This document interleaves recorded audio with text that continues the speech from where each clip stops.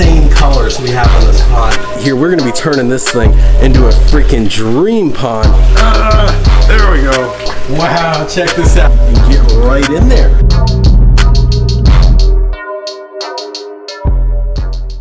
All right, let's go, let's go, let's go. Woo. What a beautiful day it is today to build some dream ponds. Man, I'm telling you guys, if I was staying here, I would make this a pond.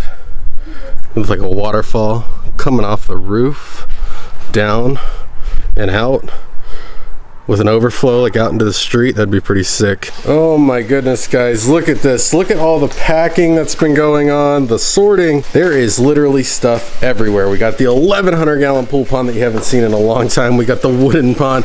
We got tanks on top. We have the 150 gallon pond. We have the feeder tanks. It's crazy. I have most of the water drained out of this pond right here. We're going to be turning this thing into a freaking dream pond for these super colorful fish. This is going to be sick. So what's going on unconventional fam i'm so glad you guys tuned in today. So this is a 150 gallon pond i've drained the water really far down over halfway down and uh, we're gonna give this pond a new life make it a dream pond for these fish. These fish are actually not coming with me. When i move they're gonna either be donated to my lfs or a few awesome supporters that live here near me. But I gave myself a budget of $20. Could we spruce this pond up for $20 and make it a dream pond? So what I did was I picked up one of these Smart Pond container fountain kits. Yes, a container fountain kit. I'm not using this for surface agitation with these fish. Agitation, I'm using it for visual appeal. Was 20 bucks. This consumed my $20 budget.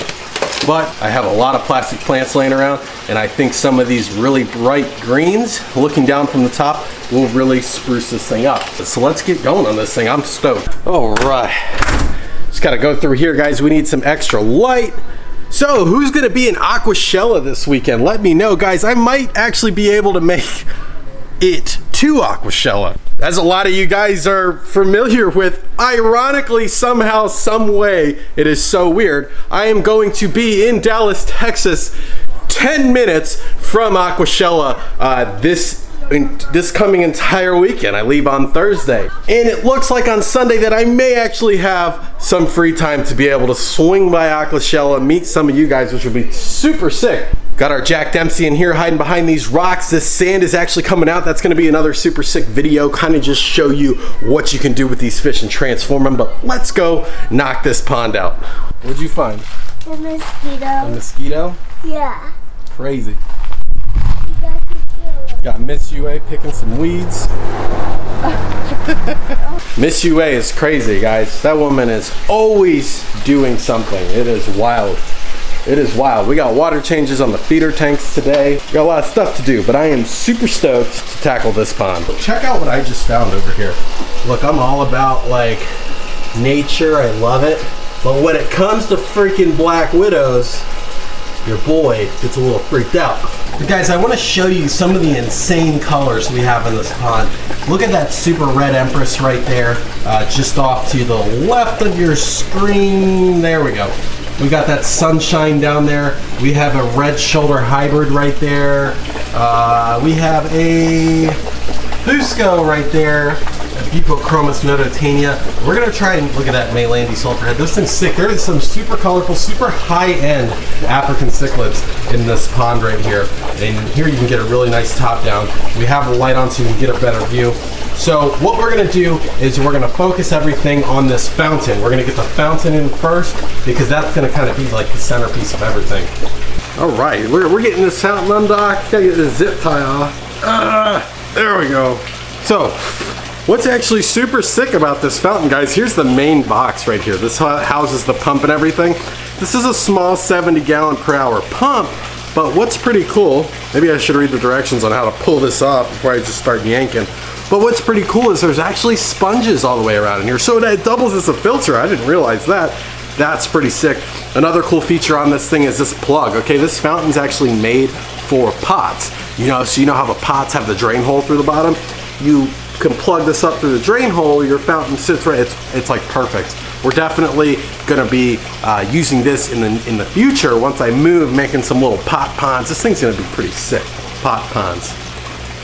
Ponds out of pots, I should say. The thing's pretty sick. Super heavy duty cord for 20 bucks. Comes with three different nozzles to make the desired flow pattern that you want. This thing is pretty cool. So let me get this thing put together and uh, we'll get it put in. Ah, that's how it comes off. Check that out, guys. Nice little piece of coarse foam there surrounding the pump. That is pretty sweet. So we'll get a little bit of extra filtration out of this. That's always good. This is probably the point in time where I should be uh, reading instructions on this. Quite honestly, have no clue what I'm doing right now. Okay guys, so I have the pump assembled here, but I have this flow pattern. I don't know what it is, so we're gonna plug it in and find out. Let's do it. I got you over the pond right now. I think this will be the best view to give you kind of um, a view of where you're at. This little pump right here is dead center of the pond. This is right about where we're gonna be placing this pump. Now, this is just our rough draft, guys. This is just the testing phase. So once we get it where we want it, once we get the flow that we want, we will then go in and uh, do the beautification, get the cords where we want them. I just want to see how this flow pattern on this pump works. Let's fire up the switches here. Let me lean over and see. Whoa! Check that out. That's pretty cool, guys. That is, uh, that is pretty cool. Look how it's just like, it almost doesn't even look real. It's like a little bubble. That's pretty sick. We got some typical African cichlid aggression going on here.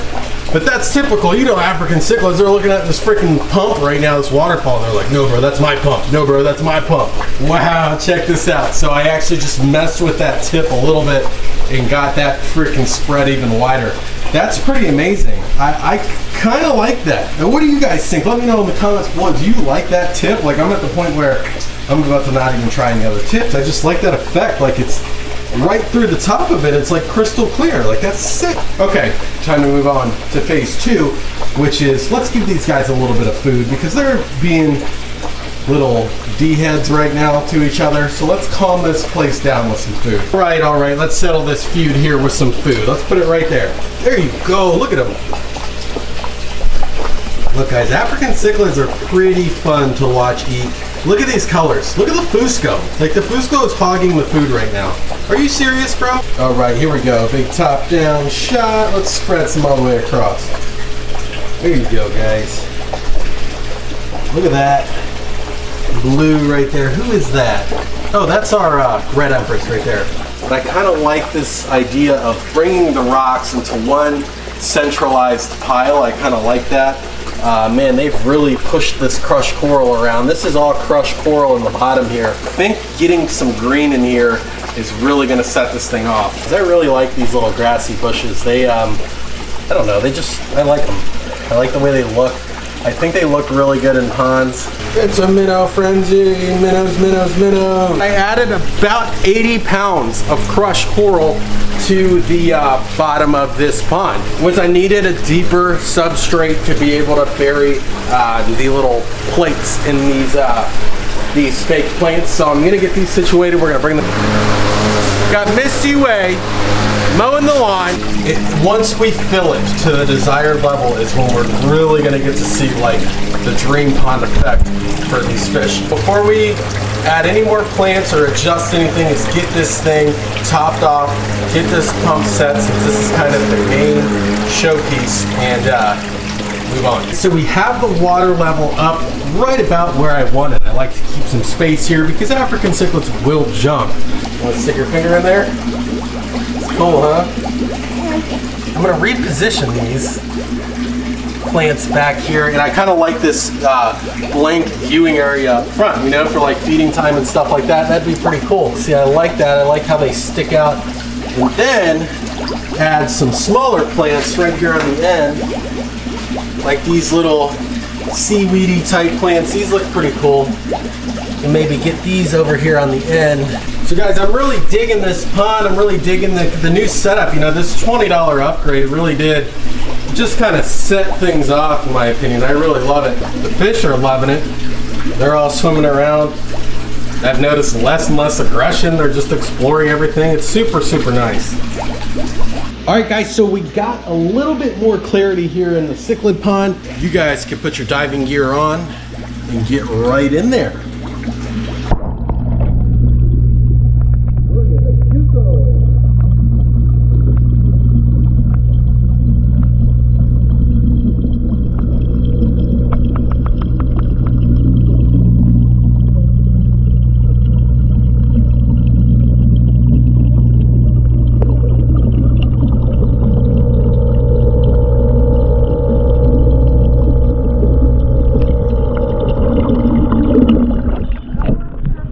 So guys, as you can see, these beautiful, colorful fish are really digging this little indoor dream pond that they got. Um, a lot of new rock work, changed it up, added some green, added this sweet little fountain, guys. 20 bucks, you can't beat that. It has all different kinds of features and even acts as a small filter.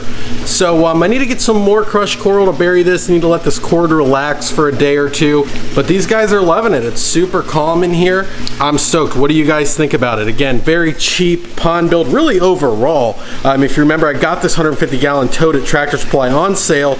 I, I want to say I paid 80 bucks maybe for it. I don't remember how much I paid for it. But ponds are very simple, they're very easy to build, and they just look so awesome. I hope you enjoyed that new Dream Pond build. We have tons of sick stuff coming up, even as we approach this move. I'm gonna keep pressing forward until the day we move, which I'm still gonna be pressing forward after that. Videos on the new Jack Dempsey coming up with naming him and everything like that. But a lot of good stuff coming up, guys. Thank you to all the new subscribers. Thank you to the new Patreon supporters, by the way. Just got those email notifications. I've been meaning to bring that up. Thank you so much. And uh, guys, I'll see you on the next one.